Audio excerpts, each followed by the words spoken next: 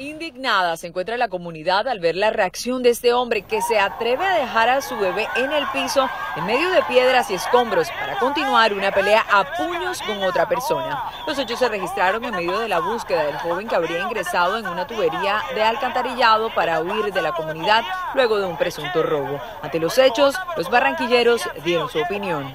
No es justificable hacerle daño a una niña y más que se ve que es el papá y, y, seguro de exponerla así a una pelea de forma irresponsable, pues no, no tiene justificación alguna. En el momento la persona, el papá del, del, bebé, por, por, por, estar con, lleno de rabia, de ira, no se dio cuenta que tenía a su hijo en los brazos y que le podía hacer daño en causa de, de de eso que se dejó llevar en el impulso del momento.